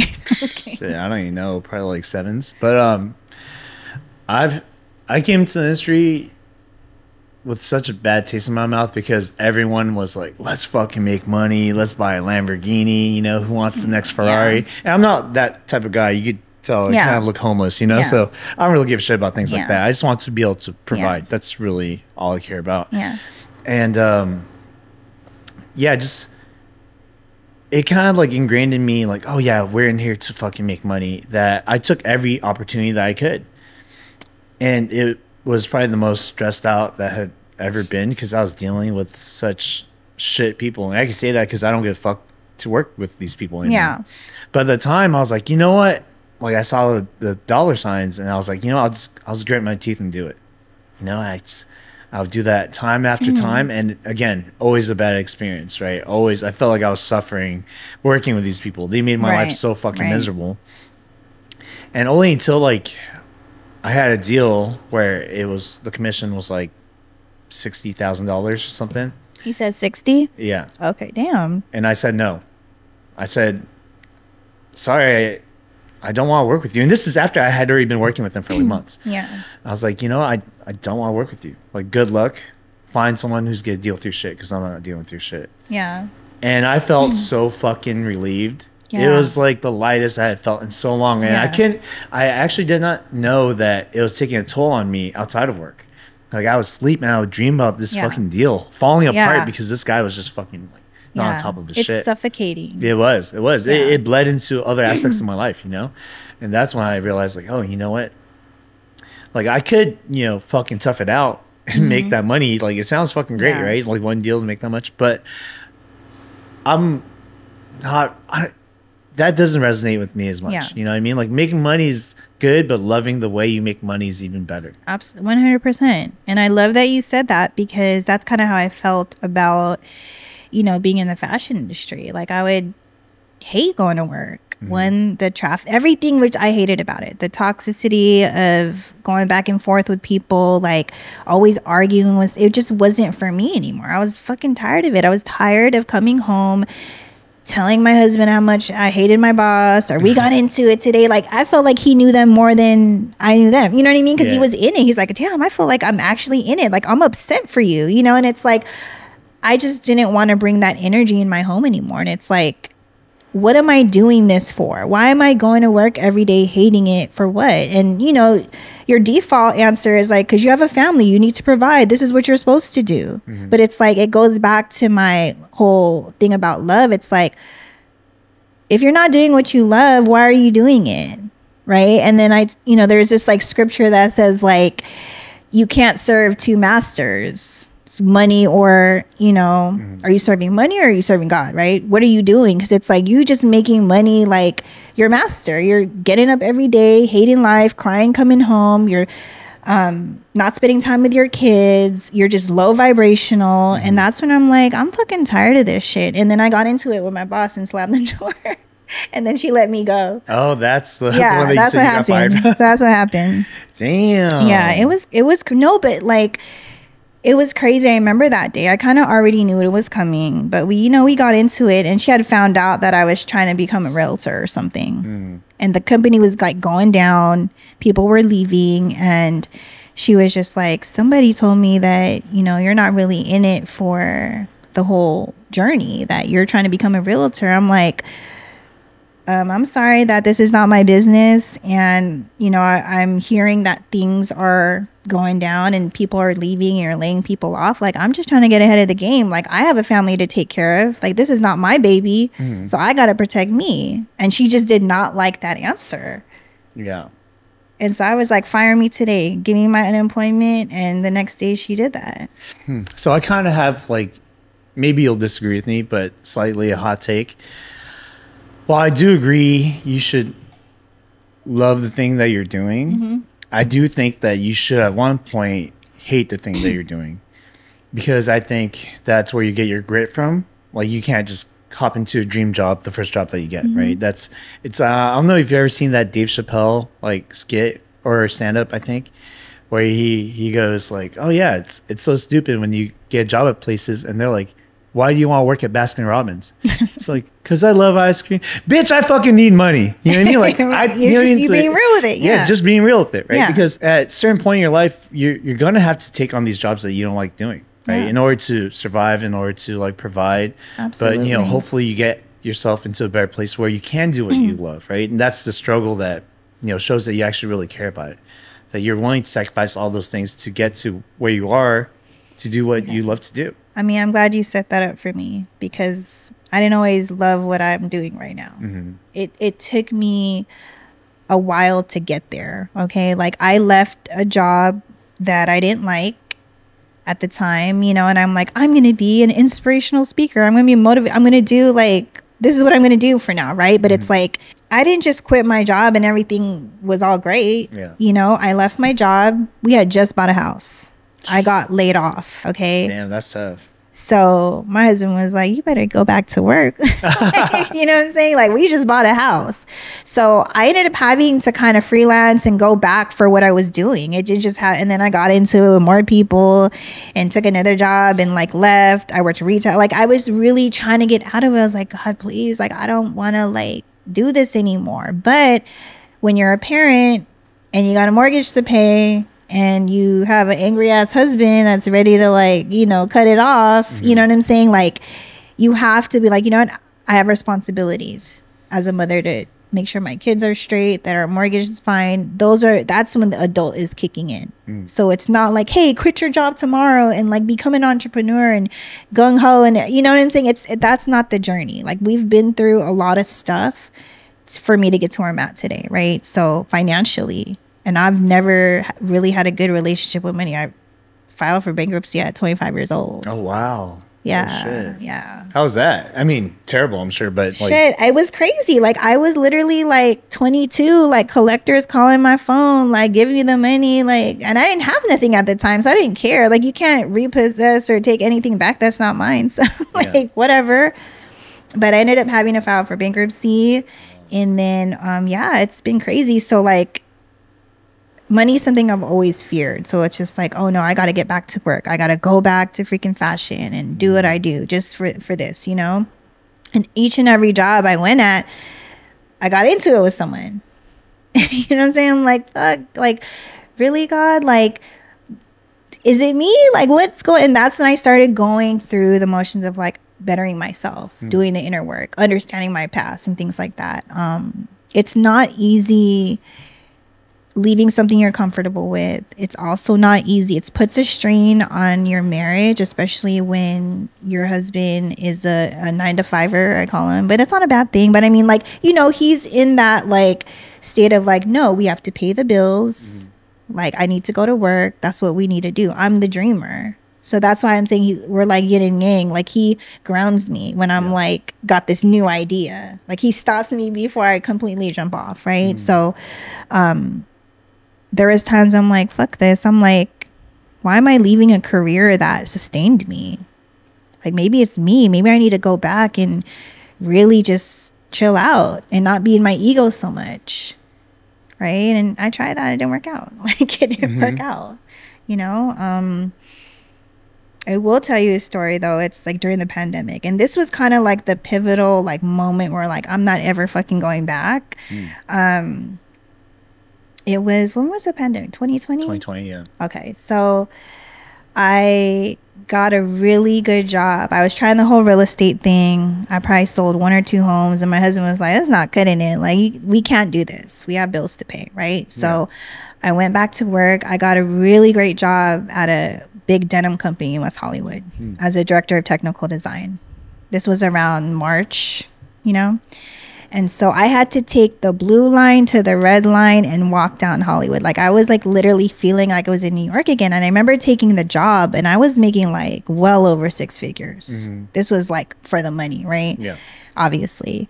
And I remember sitting on the red line and I was like, please, God, if this is what you want for me, if you want me to go back and this is what I need to do and this is part of my journey, then I'm going to do it. I'm going to learn. I'm going to learn. I'm going to receive everything. This is part of it, right? Hmm. But please just let me work from home. I was like, please let me find a job where I could just be at home with my kids and I can do whatever the fuck I want and make my own schedule. Hmm. I just knew that wasn't for me. So, crazy story. Seven days into that new job, the pandemic hit. Like my VP came in and was like, Amber, well, you know what? The government's shutting down. You're going to be working from home. And I'm like, oh my God, thank you. like, thank Yeah. you, God. you know, because he listened to me. Because I literally was like crying on the red line, like, fuck, like, I'm at this shit again. I said I wasn't going to do this. And so after that, I, um, you know, tried working from home. I got into it with my VP. She was smoking a cigarette and she like cussed me out. And I was like, bitch, fuck you. Like, who are you talking to? Like, we're going through a pandemic. She wanted to furlough my entire team and have me do all this work. And I'm like, no, fuck that. I'm not doing that. So I left, got into some other shit, got into it that that I learned so much. Like I'm like now seeing like, you know what? I see what God's doing right now. because there's also this verse, and I'm all being all biblical and stuff, but Mhm, it's that's like there's fine. this verse like that I read that's like you may not know what I'm doing to you now, but later you're gonna understand. And so I, in retrospect, I'm like, damn, I see why I went through all these jobs and got into with all these people because I actually learned a lot from it. Hmm. The last company that I was at, which is kind of the way I run my business now for Lava Designs, I was the director of product development there. I seen the rise and fall. I seen their books. I seen how they do everything, and I'm like, shit, like. I just got into it with you, but I'm like now having all this knowledge of how to run a business. And so that's when it really like gets me like, damn, I'm meant for this. This is my journey. So when I say that it wasn't always a love relationship, it was a hate relationship because it was hard trying to figure it out. You know, it's still hard. I'm still in the baby stages of trying to figure it out. But um sometimes it's hate, sometimes it's love. But I know that's what I'm meant to do. I'm clear on that. So I think that what's that's what makes it easier for me to keep going. Okay, so I want to talk to you about compliments, Yeah. right? You're you're a woman who's gotten a lot of compliments, right? Yeah. About physical attraction. I'm assuming. Yeah.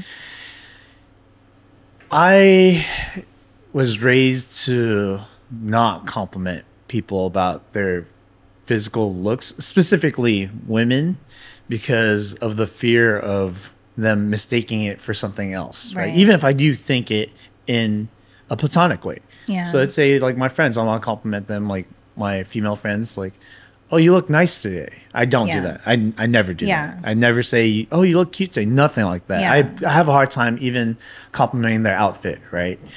And that's because again, like I don't want them to mistake it as something else. Even women that I'm like attractive to, right? And- Mm-hmm. And, and I'm sure there's a lot of nuance to that. Like it could be also that because I, I don't- I don't mind doing it when I know that they're interested Right. because it's like okay, I got the green light, I'm okay.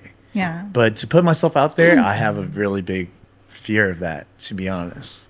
Why is that though? Like, why, why do you think? I honestly, Because you If I- said like I don't want it, them to mistake it for something else. Like, what is that something else? Like, if you're gonna like see a friend, but you don't really see her like that, and you're like, oh, you know, what? I really like what she's wearing. You know, because you really do. You know, mm-hmm. what if you really Yeah. dig like what she's wearing and you think that if you say that, that she's gonna be like, oh, Yeah. like he likes me or something. yeah, I think it's because it could be taken two ways, right? Like with my friends, it could be taken as flirtatious, and I don't have that interest, so therefore I would rather not say it. With someone that I'm interested in, might be taken as platonic, so therefore I don't say it in that way. You know, it's like double edged, I guess. Yeah. And to be honest, like just 100% transparent, maybe I'm just scared of of putting myself out there. Right.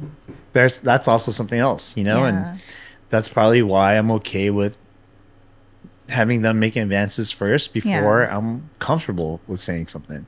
honestly, I was telling you earlier, like, if you feel something for a girl, right? Like, tell her, let her know. Mm. Because cause it's energy. You'll know when you see somebody and she's feeling you because you'll feel that attraction instantly. Whether it's like physical attraction or you're having an emotional connection, you're going to know, mm. right? And you're not, you're actually depriving yourself by not saying, hey, damn, you look really good. you know what I'm saying? You look good. Yeah. like women want to hear that. Like i feel like it's kind of weird though because i get a little bit self-conscious when people are like oh my god you're so pretty. I'm like uh, i don't know what to say. I'm like oh thank you. But it's awkward because i also came up in a household where we don't really compliment each other and it's awkward. So i'm like oh okay thank you. But i also want that because i didn't have that growing up hmm. so i want like my man to be like tell me i'm beautiful you know tell me this i want to hear that women want to hear that and so when you're not telling us that we go through this rabbit hole of how come he never tells me like that I look good? Like what? He's not into me. He's not attracted to me. Nor like we women like that's why tell your girl that she looks good. Like don't shy back, especially if you you could feel the energy. That I mean, telling my girl that is no problem. You know what I mean? Because we're in that comfort zone where it's like, okay, you give me the okay to like tell you that, and Yeah. that's. I think that's another thing that I kind of want to talk about is that I'm also raised around the time where men are now labeled as creeps. yeah. if you say some shit, right? Yeah. So you could either they could either take it Yeah. really well and like be like thank Yeah. you, or like this guy's hitting on me and he's a fucking creep, Yeah. right? And that fear of being perceived as a Yeah. creep. And I think it's also because I've seen a lot of guys do that where it's like, Yeah. oh no, obviously you're just being a fucking creep. That's weird. Yeah. No, I, I know those kinds. Where I don't want to be grouped up with them. So Yeah. therefore I'm gonna take the safe way and just not say anything. Uh, see that I get it. I totally get it. Um, it's funny because my husband, right? Like, he's.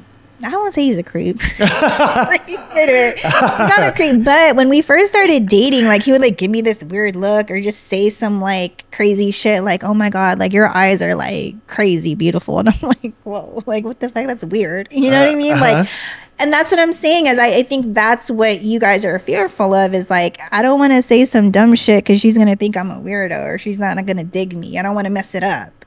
But it's like I honestly believe like energy attracts energy, mm. right?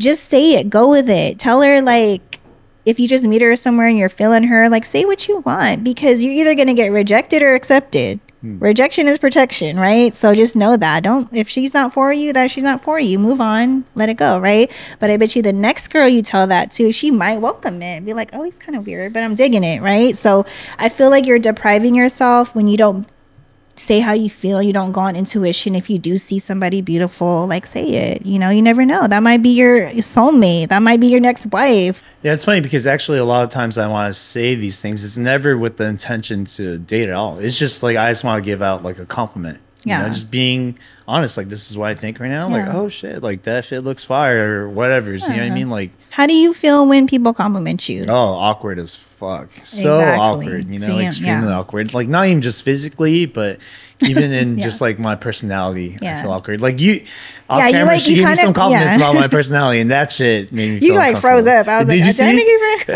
make you yeah. But it's true though, and that's what I'm saying. It's like I'm at this place in my life where like I'm big on energy. So when I feel something, I'm gonna say it. Hmm. You're either gonna vibe with it or not, and I'm okay with that. I'm I'm sure of myself when I say things, and I don't say it all the time. You know, when I feel that. So for me to like say it up front, it's the right time. Hmm. You know what I'm saying, and it's gonna be received. So before you and whether or not it's like a platonic thing or you know someone you like it's just you never know what people are going through first of all.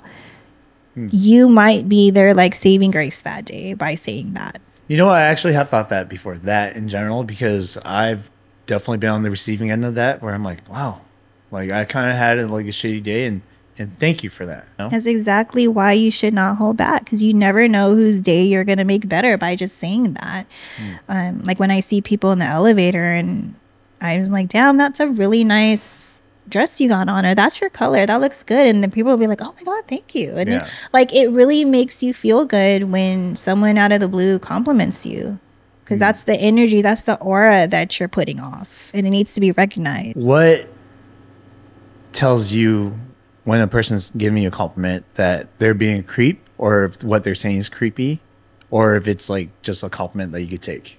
What's the difference? I get a scared ass feeling. Like if you say something like, "Ooh, girl," like, "oh," like you want to do some weird stuff. With Oh, me. like the, you get that girl." scary feeling, like, uh, uh, like this is like a danger zone. Yeah. As a woman, I mean, you know when a man is pushing up on you in a weird, like, creep way. Hmm. You know, and I'm very, I can, like I said, I I know that because I've been there. You know, but it's like. So the guys that like do say things is like they're aware of my I don't know they feel my masculinity if I must say. Like they mm. know that like she ain't playing around because I always look mad. So they're scared to like compliment me. And when they do it's like oh okay he's a real one because not too many people can do that because I always look like a bitch and I'm always mad right? I make it really hard for people. And that's why my husband's like that's why I liked you because you're fucking mean and I Oh. want and that you were like a challenge um but yeah, it's crazy. It's it's all about like like energy. You know, it's Hmm. like that's how I know when it's a creep. It's like you don't feel safe. Like this is not a safe compliment. Yeah. like this is like I'm gonna watch my back when I go to the bathroom because this is not safe. Or watch my drink. Have you ever had uh, someone compliment you that straight up you felt Yeah, not dude. safe? Like, like what? oh my god. Like I was in, I was at Magic for in Vegas in my like streetwear years, and we were at the Venetian Hotel, and like there is this guy, like you know, just looking at me, part of the group. You know what I mean? And he ended up following me up to my like hotel. And I think he was like watching me and then he was at the elevator and he fucking pulled his pants down. Like he like exposed himself to me. Was he f- drunk? Or I don't drugs? fucking know, but I'm saying like from the beginning I was like there's something not right about this guy. Like it's it was it was a creepy weird, but he was like Mm. around his like homies. I think he was drunk. And I'm like Damn. yeah, I trust me. I've been in a lot of like danger, danger, danger. like Yeah. you know what I mean? Like it's like crazy. Like I think also I've, I've seen some of my friends who are like terrible at flirting, and Mm-hmm. I'm like, fuck, dude, I do not want to be like you. You know, like I heard one of my friends say to this girl, like, yeah, damn, those thighs look like chicken thighs. Like I could take a bite out of that. Yeah. And I was like, God damn, dude, never fucking say that shit ever again. yeah, yeah, But at the same time, it's like um, you have to practice almost, right? Because some people, don't get me wrong, some people are charismatic enough where yeah, th- it'll come off very natural and Yeah. you won't feel that. yeah. But some people are just practicing, learning how to talk Yeah. to, you know, someone they're attracted to, Yeah. right? yeah, But also having, I'm gonna give you the scenario. Let's say someone's out there, they want to put themselves out there, and they they don't know how to flirt, they don't know how to give Mm-hmm. out compliments, and it takes up a lot of courage for them to put themselves out there. They have to muster Yeah. strength to even talk, even say hi yeah, and then they get shut down Okay. right Yeah. let's say they get rejected because the first couple times they're probably going to be awkward right. they're more than likely to be inclined to never do it again right? Can we try something? I'm gonna try something. sure I want you to compliment me, and not in a you know like in a platonic way. damn just put me on the spot like that Like huh? seriously, like we're gonna get over this fear today, Okay. Peter. Like compliment me. No, dude. Like it's okay. It's a, it's a safe you. space. Okay. It is a safe Yeah. space compliment you okay yeah. I like that LA hat It's Thank nice. you. No, go Dodgers. right? See, how was that? It that was, was fucking weird. That was weird. that was fucking weird. I was like, okay, what can I say? I had to think about like ten different things and like which one to pick Yeah. from. You know? But it's like it's weird as fuck. But once you get yourself out of that, com- it's like jumping off. Like you're scared to jump off something, but you do it anyway because of that adrenaline rush. And now that it's done, it's done. You did it. You know, I'm not saying go out there and start complimenting everyone, but it's like damn, mama, shit, it's yeah. fine. That's I'm like, uh, no, right? Um, it, it's a it's a scary feeling, but it's like, again, you will attract like your tribe of people. Like to be yourself. Like that's important to be around people that are very much like you, but also very different at the same time because it gets you out of your comfort zone. And you learn that a lot in business. Like, yes, you want to attract clients and you know people that mesh with you because you identify, you trauma bond or whatever it is. But you're not elevating when you're stuck in that same like group of like thoughts or like ideas Yeah. and feelings. well, you know, going back to what we were saying about like who you surround yourself by. I have groups of friends who go out and that's their goal, right? Is like to find a girl. Like all of them. Like they'll go out and like a group of five, six guys. Like, all right, I That's don't what go talk single to this guys girl. do though. Not all single guys do that, and that's the difference. Like, okay, so this is where I think my group Well, is. if I was little- a dude now, I think I'll be. Huh? Out. If I was a guy and I was single, I'll be out doing that. Okay. See, see, this is why I'm I'm listening to you now because I want to hear from your Yeah. perspective. Like, me and my group of friends, especially the core group of friends, like we're very much like, fuck it, let's not go out and like talk to girls. Let's just get drunk and like fucking, you know, just chill. Like that's we're okay with that. We don't want to be like the group of guys who go out there and they prey on women. You know what I mean? Yeah, yeah, so it's almost like our way of justifying the way we are is by saying like we don't want to be like that but i'm sure there are tasteful ways of doing that also right exactly. i just haven't seen it like yeah. i've well, just be seen guys the first. You got to be the first. i gotta be Remember? the first i mean i see and this is the problem that i have i'm sure a lot of people have the same problem is like i'll give out advice i'm not willing to take sometimes Yeah.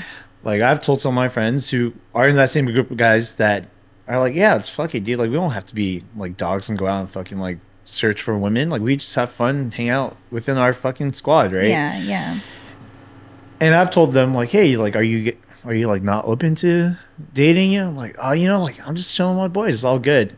And I was like, oh, maybe just maybe not be the the aggressor, but like allow it to happen if it were to happen. Mm-hmm. And now they're in relationships, right? All of my friends are in relationships. Yeah. I'm, I'm like the odd one out now. Yeah. To where like again, I gave them that advice, and I'm Yeah. not willing to take my own advice. Right. But you know, it's like I could I could have so many reasons to justify why I am the way I am, but I know deep down inside when I feel that whether you call it excitement or fear, that like I want to explore that. I'm And you, and you did today. Yeah, you did today. see? Good job. progress, a little bit of progress. Yeah. You know, um, no, I, I love that. That's that's a very hard thing to talk about as a man. Like a lot Mm-hmm. of men like won't ever admit that. But I mean, at least coming from a female's perspective, like I get it, you know, especially if this girl is like someone you really like or maybe just a friend and you just want to like compliment her. Like you don't want people getting the wrong idea. I think there's this misconception that compliments are a form of like flattery and like I like you or whatever. It could be just be like, hey, I really like that hat, LA hat you got going on.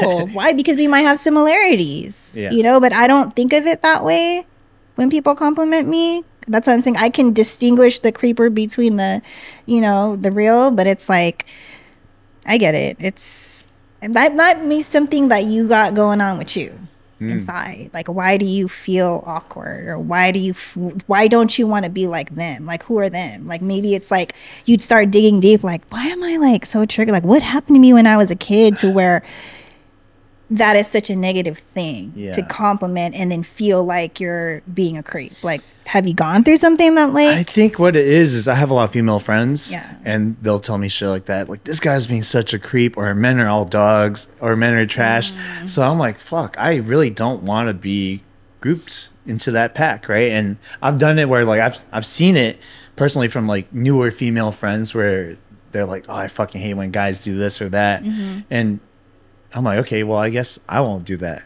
Mm-hmm. You know, to to be to take one less guy out of the creep group. You know, Yeah, well, And- there's like takes two to tango. Like that's another thing too with women, you know. And I Mm. will say this, like we that's how we bond. We talk shit about our dudes. Like you know what I mean? Like, oh, he did this Yeah. today. Like he made me take out. Like it's just something that women do, right? It's like the the banter, the back and forth between women, but like we're not holding ourselves accountable either.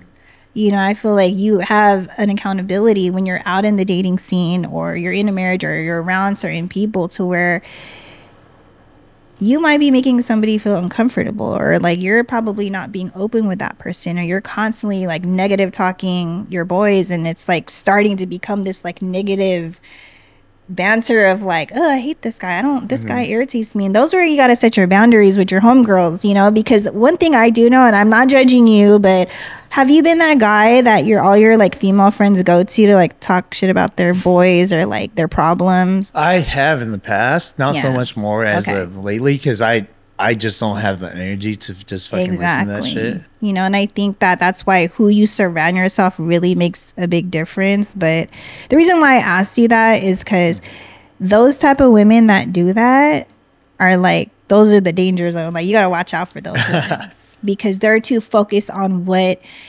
they're not getting. It's like you have to really be accountable and be like, why do you feel that way? Why do you feel like your significant other or your husband isn't making you happy? Or like you have to find that inner piece of like, why does when he does this, why does it make me angry? Hmm. Or why do I feel like he's a freaking a hole on this day or this particular time? Like, what is it about? That that's pissing you off so damn much that you gotta go tell your homie or tell your friend and, and dump your trash on people. Those are the people that are very low vibrational people that are unhappy, that don't want to make change, mm-hmm. that aren't being accountable for their shit. So they dump it on other people and blame other people. Like it's like a blame game. Hmm. And those are the people you want to stay away from because those are the those are the scary ones. Those are the ones that haven't figured it out. Hmm. When I say figured it out, like you got to look deep within yourself to ask yourself why are you so pissed off because you have the opportunity to like change your situation you know all my childhood traumas that i went to like i was sick and tired of getting mad getting angry, taking it out on my husband, talking shit to my homegirls. It was such a like negative thing. Like I'm sick and tired of being this person. Mm-hmm. Like I want to be happy. Like I want to have fun and like thrive, not like talk shit about my husband or your other relationships. And so I stay away. Like I keep those type of conversations because sometimes you need guy talk, girl talk. That's just Yeah. a part of it. But everything you do in moderation. Like don't don't let yourself get too involved in it. Yeah, I've definitely seen that. That's why I kind of got out of that because it just seemed like all they cared about was the chisme, you know? Like they Yeah. just want some tea, gossip, and don't get me wrong, sometimes like it's entertaining. To me, it's like entertaining. I'm, I'm rarely ever invested. In. Yeah. I rarely care that much. Yeah. But it's like when you make your life fully about that, Yeah. then I'm like, oh shit, like I can't really be around you that much. Yeah. You know, because there's what else do you have to offer at that point? Yeah. So you mentioned like you were like not dating right now, yeah. right? Sorry, I put you on. Yeah, no, go ahead. Yeah, put me on blast. He's That's not fine. available, people. Just letting you know. No, um, Mm-hmm. I really think that that's a really great thing to say and be confident about it. Because some people Mm. will say it like, uh, "I'm not really like dating right," but you said it with like conviction, like, "I'm not really dating right now. I'm just Yeah. trying to do me," and it's like. That's a really good thing um, to have because it's like you're sure of yourself. Mm-hmm. You you got boundaries. You've done the work. Like I know this. I'm like, oh, he has control. Like he, and that's what I'm saying. It's like as you start getting older and you start going, when you go through really fucked up shit, the boundaries start popping up. Or like, nope, that's not okay for me. Yeah. Nope, I'm not gonna call you back. Nope, I'm gonna let you go because you're not good for my peace. Nope, I need a break. Um, because I used to be a people pleaser, like you know, Mm. yes, yes, yes, I'll do it, and now it's like, no, I'm not having this conversation with you. I just want to say sp- special, special thank you to Amber Ashley, getting me out of my comfort zone right now, putting me on the spotlight the entire Well, time. Well, you got me out my comfort zone, so thank you. of course, of course. Can you let the audience know where to find you? Yeah, so you can find me on um, Instagram at Ashley underscore Ambers on Instagram. And then my website is lavadesignagency.com. Mm-hmm. So if you're trying to start a clothing brand, it needs some business consultation, you need to sell a house, buy a house, I'm your girl. Hit me up. And I want to say a special thank you to our audience for making it through the whole podcast. Make sure you guys like, subscribe, and comment below what you guys want us to talk about next time. And remember, live fast, eat, live fast, Live fast, eat. eat ass.